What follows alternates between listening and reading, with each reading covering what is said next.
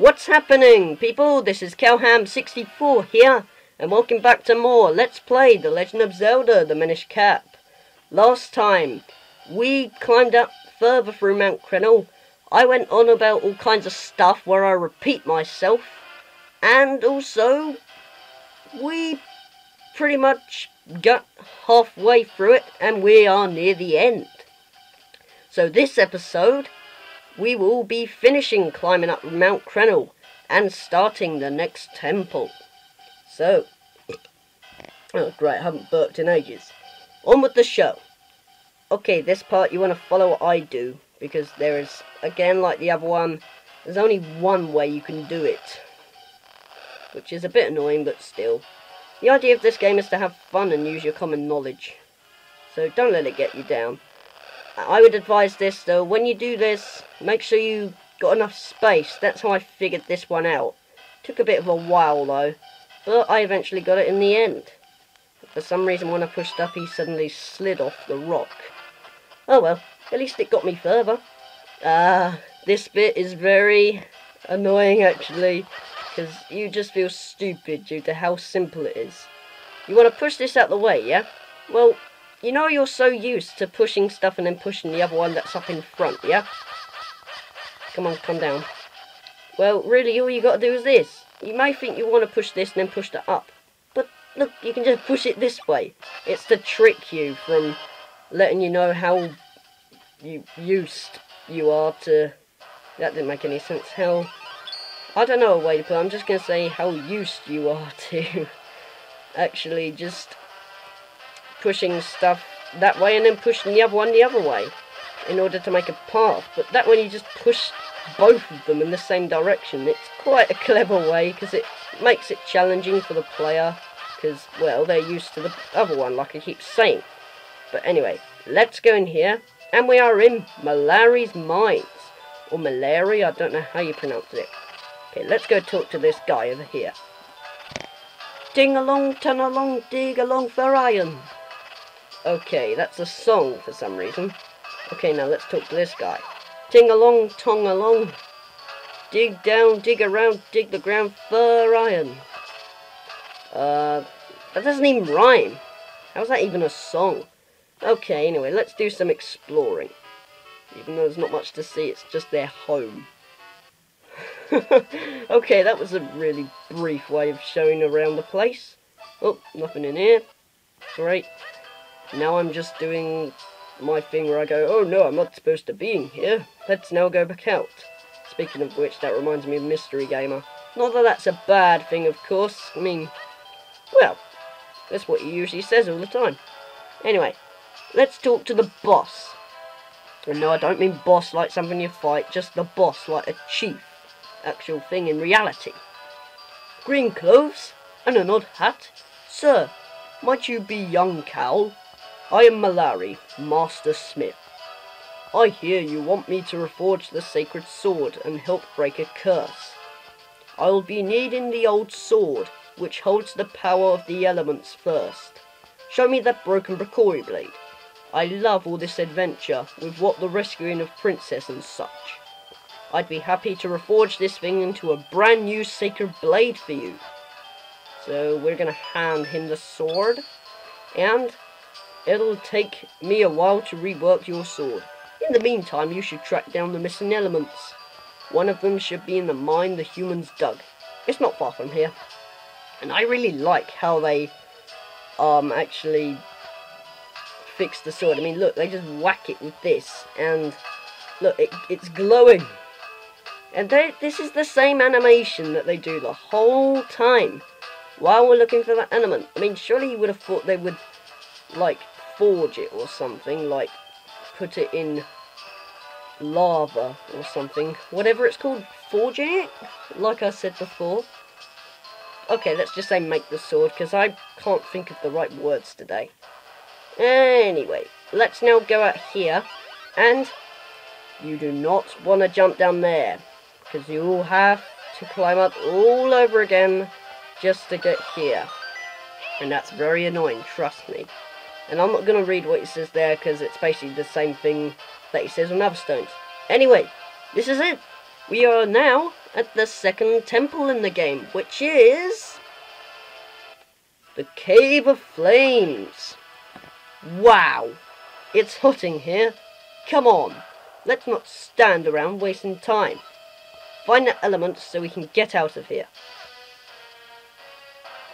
Okay, so now let's just explore it. Cave of Flames is basically, well, a, a cave full of flames.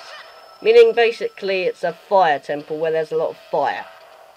In other words, it's an obvious title and what you want to do here is be really careful at this bit, but I usually just like whacking them and then not doing that. Okay, actually, no, you know what, I'm going to try it. Um, you want to suck this guy up, and that way you get a better way of aiming. And now let's just throw his pot, let him detonate, go all over the shop, and blow up, because nobody cares about him or her. I don't even know what gender these things are. Great. Anyway, with that, let's go in this next room, and here's something funny I'd like to show. I probably might not be able to do it in the LP, though. Uh, let's see. See these? I want to do this. you know what I just did? It says this. Your sword won't make a dent in their thorny armour. Flip them over before you strike. Isn't that what I just did?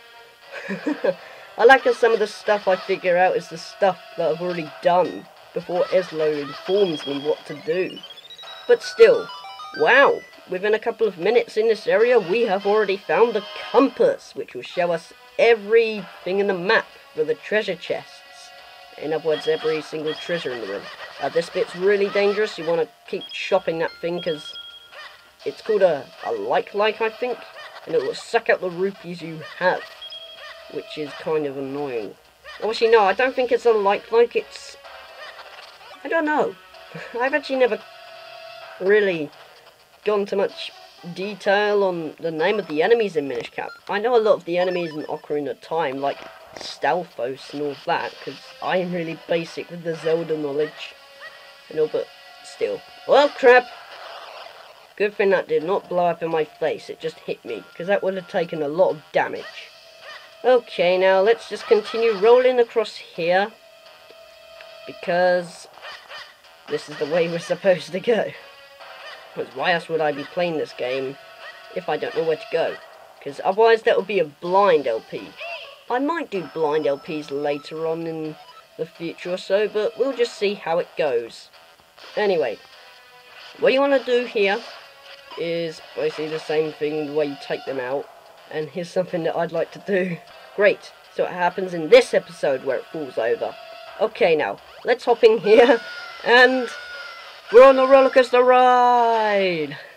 And let's see what Ezlo says. Sweet jumping jellyfish! That was awful! Hey kid, what are you smiling about? I knew it was madness to risk our lives in that rickety human contraption. From now on, let's just stick to our feet. Well, I mean, your feet. I like it gives like the sense of emotion on each character. Like you could see due to Ezlo's comment that Link frickin' loved it, but Ezlo frickin' hated it. I just really like the dialogue in this game. It's like really cool. It's like um oh, it's like uh you know the dialogue in Link's Awakening. It's weird, but really really cool actually. It definitely makes the game shine. But the main thing that makes this game shine for me is, like I was saying before, the shrinking ability. Because, well, I thought that was the idea. That's why they called it the Minish Cap. Because you shrink down to Minish size. But that's my own opinion, of course. Because there must be some other reasons why it was called Minish Cap. But that's all I can think of. So, yeah. And I have not said that in a while. Wow. Anyway, let's just shrink down. And into this tunnel because there's enemies. But they can't see us because we are so small. And here's something that I'd like to show. See this hole? When we go in there as small form, we fall down and we can't get out. And we just randomly respawn instantly. Like, we don't even see the long death animation. It just suddenly respawns. Still, I won't criticise the animations and all that, because that doesn't put you off the game, definitely. Okay, anyway, let's crawl down through here into this really foggy area.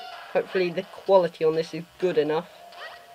on the computer because really I found that with camcording, or sorry, camera recording, I'm not American, that um, it does uh, bring out quite good quality, but not as good as how it's actually being played on the games console. Whereas capture cards are pretty much like that. Because, I mean, you saw, if you saw Chungun's Majora's Mask, then you all know what I mean. That looked like he was actually playing it on there. Even though he was playing it, but I'm talking in terms of quality here with the recording and all. But anyway, with that, we now want to quickly move across here because these things collapse and we find a Kinstone piece. Oh great, what do you want to say? Oh my, it looks really, really hot in that lava. Trust me, falling into that would be a bad idea. I'm sure you agree. Nah, I'm gonna freaking be a millionaire if I fall in there. And that rhymed. And, oh god, I don't like the idea of this bit, because, um, if you didn't hear that sound though, but you can hear like my speakers pop. It puts me off, it does a bit. I don't know, does that happen in the Game Boy Advance version? I might have to look it up, or you guys can tell me in the comments. So, yeah. We'll just see how that goes. Because I've only played this on the 3DS, not on the Game Boy Advance original system or anything like that. But still. Here's one thing I'd advise. When you get these things, you have to throw them in the holes. But if you just step into it with them, then it's easier to do so. That way you're not going to throw it in the... What? Okay, fine, I had to do that. That was the only way. But still, yeah. Because um, if you actually throw them, sometimes you can throw them too far. And they'll fall in. Like that.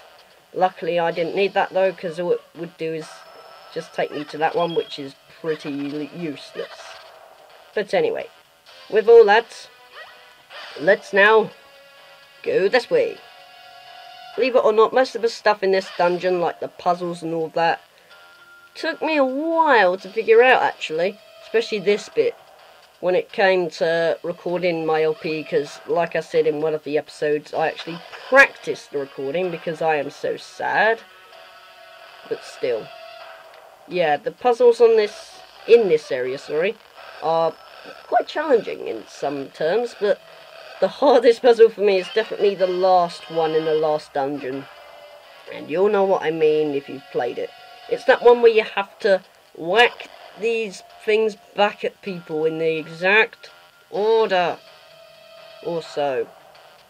Because, um, otherwise, you will not get further through it. And I don't really want to give too many spoilers. That's why I was a bit silent for a second. Anyway, let's now hop back in here, now that we got the key, and access a new area. My speaker just popped again. I swear it's the 3DS, because in some places it doesn't pop. Maybe my 3DS is dying. I hope not. Either way, I'm more excited about the Wii U. oh god, I keep going on about the Wii U at the moment. I'm so addicted to it.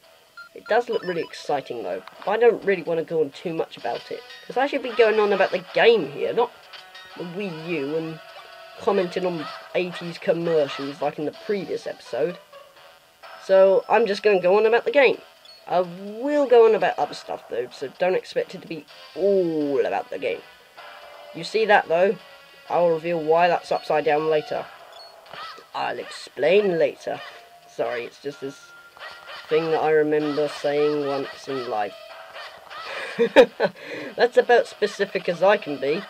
Anyway, let's now bomb this and along the way I'm going to say that I'm going to end this episode here because it's coming up to the time limit and I'm going to speak really fast. So, in the next episode of The Legend of Zelda, The Minish Cap, we will be going further through the Cave of Flames. So, take care guys, and I will see you in the next episode. And now we have got the sixth pot container, which is very handy. So, take care guys, and see you later.